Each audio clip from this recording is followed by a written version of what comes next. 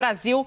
O Pedro Teixeira chega em instantes trazendo para gente informação importante. Geraldo Alckmin esteve hoje com Jair Messias Bolsonaro. O vice-presidente eleito não só se reuniu com Ciro Nogueira, mas também esteve com Jair Messias Bolsonaro. A informação que o Pedro traz em instantes. E eu vi que a gente tem imagem ao vivo para piscar com o que onde está Alckmin agora. O Igor mandou aqui, não mandei botar para mim, né? Porque botou para eu ver aqui, ó.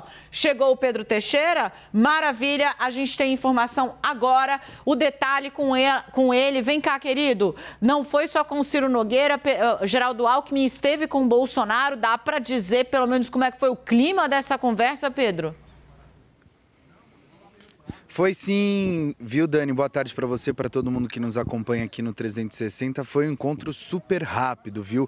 A nossa repórter Juliana Lopes confirmou. Depois eu conversei com auxiliares do presidente Bolsonaro que me disseram que tudo foi super rápido, viu? O, o, o vice-presidente eleito Geraldo Alckmin esteve no Palácio do Planalto hoje para participar da reunião ao lado do ministro da Casa Civil, Ciro Nogueira, também do ministro da Secretaria de Governo, Luiz Eduardo Ramos e também dos auxiliares do presidente eleito Luiz Inácio Lula da Silva, da Glaise Hoffmann, presidente do PT, e também do Aloísio Mercadante. Depois deste encontro, Alckmin, Mercadante e Glaze Hoffman desceram ali para o hall de entrada do Palácio do Planalto, onde concederam uma breve declaração para os jornalistas.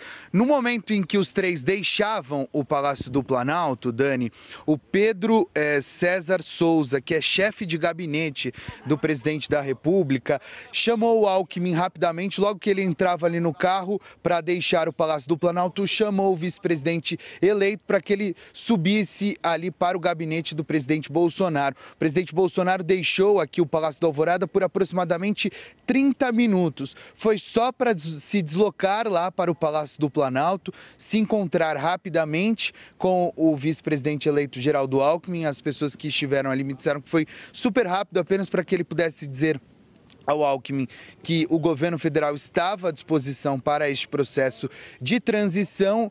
Ele cumprimentou Alckmin, entrou no carro e voltou aqui para o Palácio da Alvorada, local onde ele deixou pouquíssimas vezes desde o resultado das eleições no último domingo. Mas foi isso, viu, Dani? Foi este encontro rápido. A Juliana Lopes confirmou há alguns minutos deste este encontro e aí eu pude conversar rapidamente com os auxiliares do presidente para trazer um pouco mais de detalhe para todo mundo que nos acompanha aqui na CNN, que me disseram rápido, curto. Foi só para passar essa mensagem ao Geraldo Alckmin de que o governo estava à disposição do processo de transição e cumprimentá-lo pelo resultado das eleições. Volto com você, Dani. Pedro, esse bastidor que você traz, por, por, mais rápido que tenha sido, ele é importante, porque o presidente Jair Bolsonaro publicamente não cumprimentou o presidente eleito Luiz Inácio Lula da Silva, por consequência, não cumprimentou o vice-presidente eleito Geraldo Alckmin. Então, para detalhar Exato. aqui, Alckmin já Exato. estava saindo do Palácio do Planalto depois da reunião com Ciro, quando o chefe de gabinete de Bolsonaro pediu para que ele voltasse ao Planalto, porque o presidente queria cumprimentá-lo. É isso isso, né? É a demonstração de Exatamente. civilidade Exatamente. mais clara que o presidente deu agora, até agora, no sentido de cumprimentar a chapa que o derrotou por pouco mais, derrotou 2 milhões de votos a mais na disputa presidencial. Então, eu vou pedir para você realmente coreografar essa parte. Alckmin estava de saída, o homem quer. Ele não é assim próximo, gente, assim. Ele é unha e carne com Bolsonaro. O chefe de gabinete do presidente é uma pessoa de muita confiança de Bolsonaro. E é ele quem fala: Alckmin, só um instante, saia do carro que o presidente quer falar com você. Por favor, Pedro, coreografa pra gente, porque é para mim o gesto mais simbólico até agora, já que o presidente textualmente não havia reconhecido a derrota. Exatamente. Dani, vou, vou até contar com mais detalhes. Eu estava aqui no Alvorada e o presidente saiu, a gente foi atrás. Eu cheguei no Palácio do Planalto no momento em que o Alckmin já estava dando uma declaração aos jornalistas.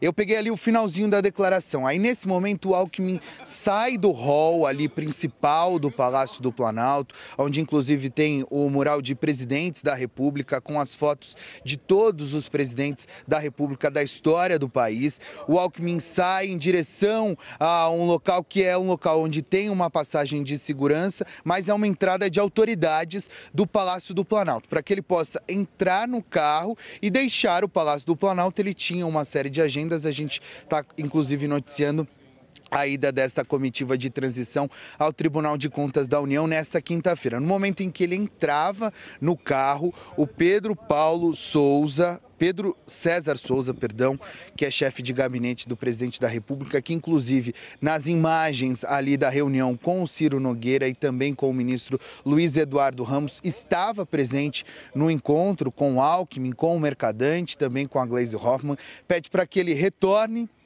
ao Palácio do Planalto para que ele fosse rapidamente recebido pelo presidente Bolsonaro. É claro que a gente não sabe o, o texto ali da conversa do Bolsonaro com o presidente Alckmin, o que me disseram é que foi um encontro rápido para que o presidente pudesse cumprimentar o Geraldo Alckmin, vice-presidente eleito, e também pudesse é, indicar que o governo federal está à disposição para todo este processo de transição. São dois meses é, até que o governo eleito assuma em janeiro janeiro, então o governo federal estava à disposição para que todo o processo fosse feito. E o que chamou mais atenção também, Dani, é que como o presidente deixou poucas vezes o Palácio da Alvorada, ele deixou justamente para fazer isso, porque ele chegou lá no Palácio da Alvorada, no momento em que o Alckmin é, falava ali com os jornalistas, conversava com os jornalistas sobre o encontro com os seus ministros e cumprimentou e saiu novamente, voltou aqui para o Palácio da Alvorada tudo isso não durou 25 minutos, 30 minutos.